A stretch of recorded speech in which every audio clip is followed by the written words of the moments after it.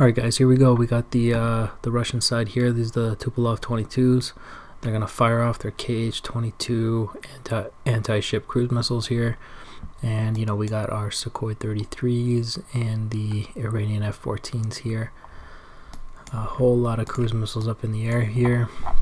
I can put labels on, but I feel like it just makes it a little too crowded. So I'm just going to keep labels off.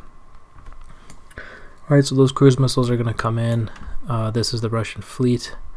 And off in the distance there, you got the American fleet right here and all the Hornets up here. Alright, so those missiles are going to come in, those cruise missiles. Now remember, the objective here is to saturate the defenses of the carrier fleet and hope that a couple of these missiles can get through and destroy them.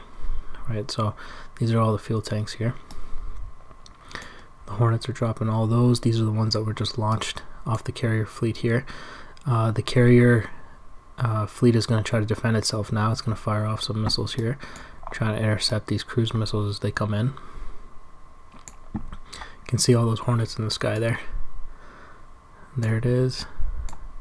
They're going to start getting concentrated, which means that the uh, splash damage could actually take out multiple missiles at once.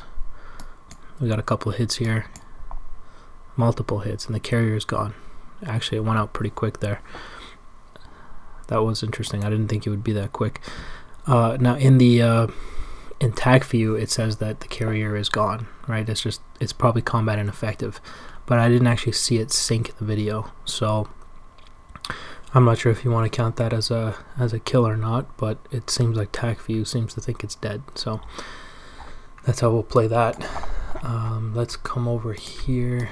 This is the massive dogfight. Now these are the Hornets. They're going to try to take out these Sukhoi 33 and the MiG escorts, and they're going to try to make their way to the Tupolev 22s in order to decimate the Russian strike package. Right, if they can take these out, then they won't be able to launch another attack like this in the future when more carriers come into this into the Persian Gulf here.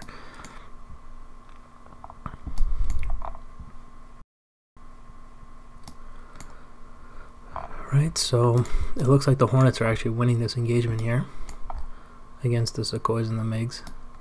The F-14s don't seem to have engaged yet. They're still off in the distance there. We got the Russian fleet firing off its uh, anti-air missiles here. I think that's actually what's causing the major casualties to the Hornets here.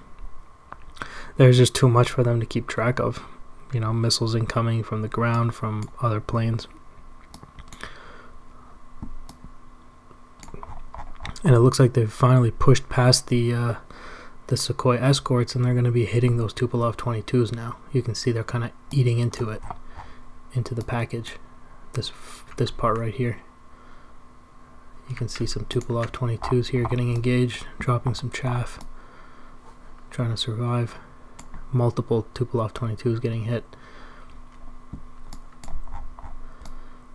You can still see multiple Hornets getting hit from the uh, anti-air defenses of the ships down here.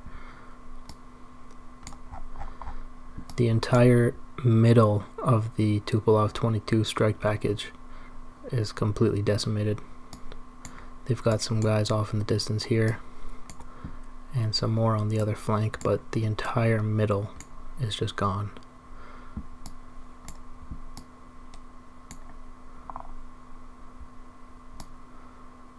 A lot of those hornets are dead too.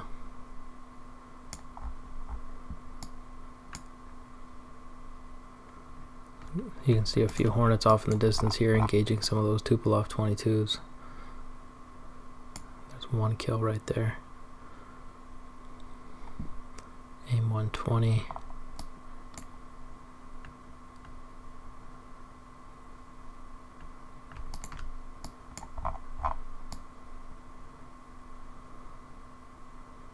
Not gonna hit. There's an AIM 9 there. Looks like it's from the F-14s here.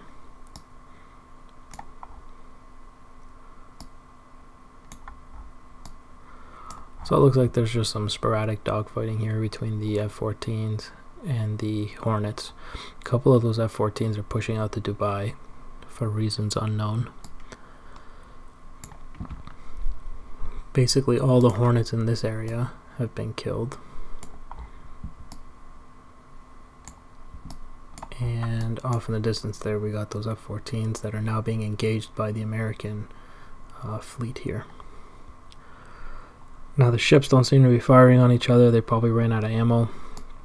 They do do that after a while. Once they run out of missiles, they just stop firing. Now, uh, like I said, the primary objective of this scenario here was to take out the carrier. And if you if they managed to take out the carrier, they were supposed to take out the rest of the fleet. Now, they did not manage to take out the entire fleet, but the carrier looks like it was knocked uh, basically out of combat. Uh, but at what price, though? Right? Like you look at the uh, look at those damages. Look at those uh, casualty numbers, right? Like the entire Russian strike package was destroyed. You can see just a handful of Tupolev 22s heading back to base. Right? That's all that made it out of like hundreds of planes. And the entire F-18 uh, defense force for the fleet was destroyed as well. It looks like the only thing surviving is some uh, F-14s here, Iranian F-14s those things will not die, man. Just cannot kill them. It's like 40 years in service and they're still flying, even after this.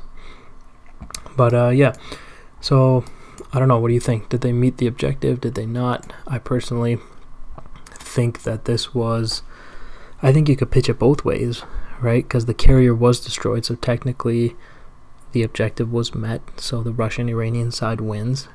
But when you look at the numbers, it's like you have to decimate your entire air force to do it. So it's like you can kind of pitch it that the Americans win this as well.